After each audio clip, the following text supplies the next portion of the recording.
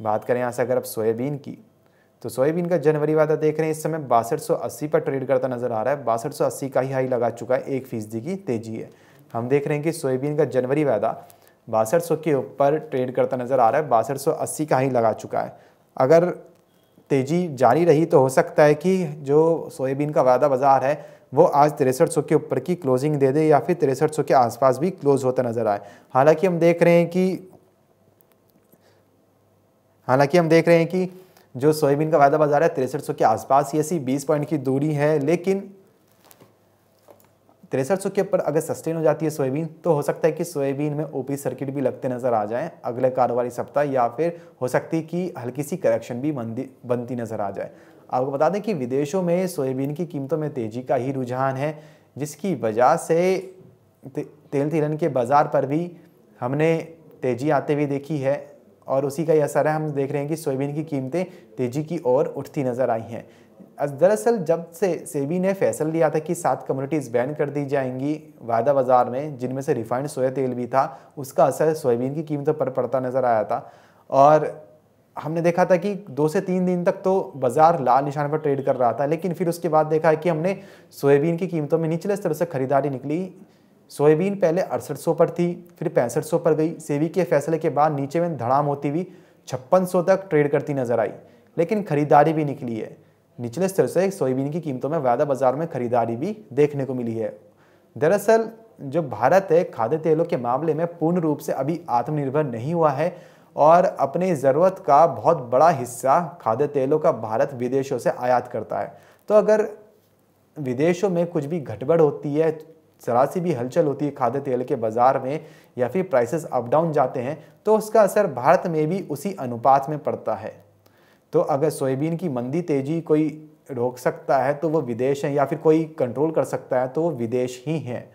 अभी हमने देखा था कि सरकार ने पामोलिन और पामोलिन की जो ड्यूटी है, वो घटा दी थी, जिसका बाद हमने देखा था कि खाद्य तेलों में हल्की नरमी तो बनती नज़र आई लेकिन फिर से मलेशिया में उसी अनुपात में खाद्य तेलों के दाम बढ़ा दिए गए। तो उसका असर इतना खास देखने को नहीं मिला और पहली बार नहीं हुआ है जब सरकार ने खाद्य तेलों पर ड्यूटी में कटौती की हो और विदेशों में उसी अनुपात में दाम बढ़ा दिए गए हों।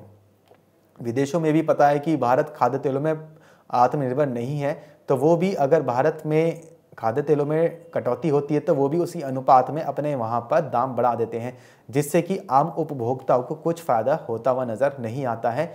और जो विदेशी मुद्रा है खाद्य तेलों में, आयात में, वो उतनी ही खर्च होती रहती है। बात करें सोयाबीन की तो सोयाबीन में आपको बता दें कि विदेशों में जो क्रॉप है, उसकी स्थिति भी थोड़ी असमंजस की बनी हुई है।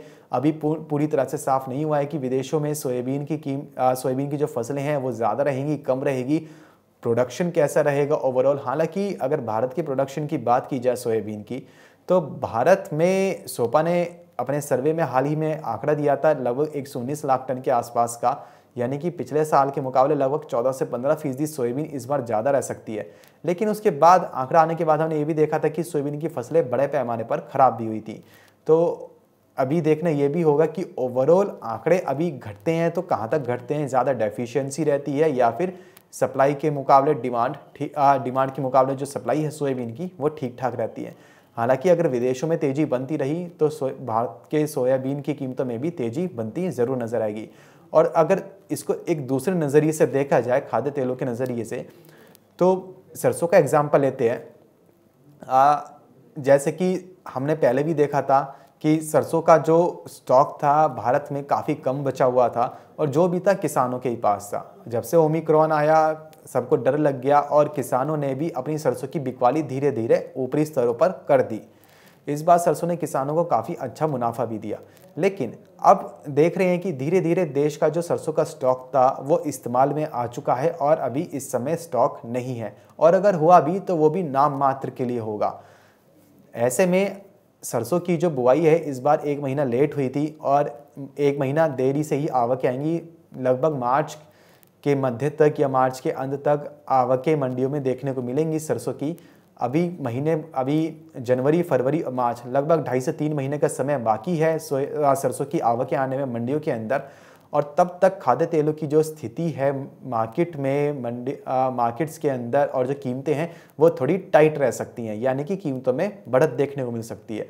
और इसी का ही असर अन्य खाद्य तेलों समेत सोयाबीन की कीमतों पर भी पड़ता नज़र आ सकता है।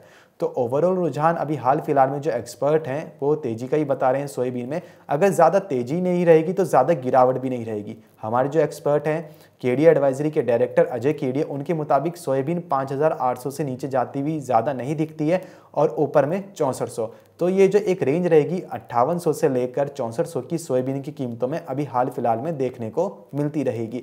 हालाँकि अजय केडिया के मुताबिक अभी लॉन्ग टर्म में उनके अनुसार जो सोयाबीन है वो तेज़ी दिखला सकती है वो अभी भी सोयाबीन को लेकर पॉजिटिव ही है।